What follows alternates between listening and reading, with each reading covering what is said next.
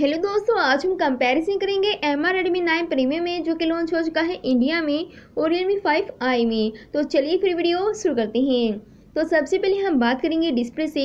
तो एम आई की डिस्प्ले है six point fifty three inch की। रेजोल्यूशन है एक हज़ार अस्सी मल्टी पर तीस सौ चालीस पिक्सल और इसमें आई पी एस डिस्प्ले का यूज़ किया गया है। और रियलमी की डिस्प्ले है six point fifty two inch की। रेजोल्यूशन है सात सौ बीस मल्टीपल सोलह सौ पिक्सल और उसमें आई पी डिस्प्ले का यूज़ किया गया है। डिस्प्ले के मामले में एम आई आगे है, क्योंकि इसका रेजोल्यूशन फुल एचडी में दिया गया है।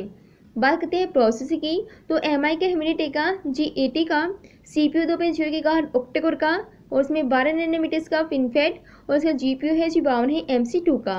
और रियलमी का जो प्रोसेसर है, वो स्नैपड्रैगन का है छः सौ पैंसठ का।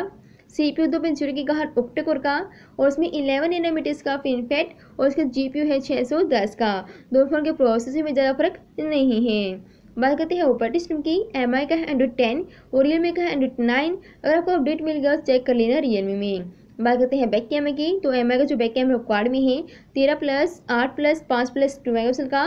और रियल मी का जो बैक कैमरा है, वो भी क्वाड में है twelve plus eight plus two plus two mega का।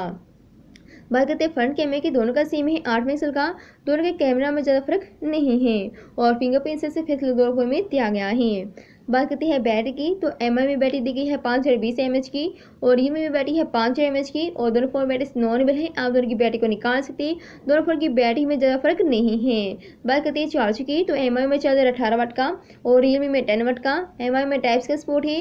रियल मी का स्पोर्ट दिया गया है और तीन पे पाँच दोनों फ़ोन में दिया गया है और चार्जर के मामले में एम आई आगे है। बात करते हैं सिम की तो आप दोनों फ़ोन में दो सिम और सात मेस्ट का डायस थे और ट्रिपल्स का ऑप्शन दिया गया है।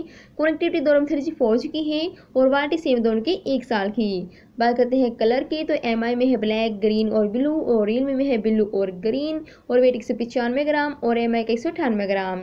बात करते हैं ग्लास की दोनों में सेम है। गोरिल्ला का त्रिपुरा से बना हुआ है और दोनों का वो फ्रंट में ग्लास दिया गया है। बैक साइड प्लास्टिक दी गई है। बात करते हैं रैम की दोनों में सेम है। चार जी रैम दी गई है। बात करते हैं मेमोरी की तो एमआई में दो ऑप्शन है सिक्सटी फोर जी एक सौ अठाईस जी बी का, और ई में है एक option sixty four G B का। बात करते हैं प्राइस की तो एमआई का प्राइस है चार जी बी और सिक्सटी फोर जी बी का, नौ हज़ार नौ सौ नब्बे, और चार जी बी सौ अठाईस जी बी का प्राइस है ग्यारह हज़ार नौ सौ नब्बे।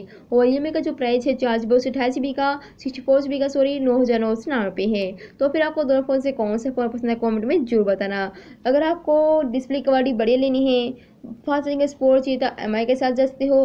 बाकी अगर आपको रियलमी का फ़ोन लेना है तो आप रियलमी के साथ जा सकते हो। बाकी अगर दो फ़ोन से फ़ोन लेने से पहले आप एक बार प्राइस ज़रूर देख लेना कि प्राइस कभी कम होते हैं, कभी ज़्यादा है। बाद में वो लोग कॉमेंट करते हो कि प्राइस आपने गलत बताए तो देख लेना।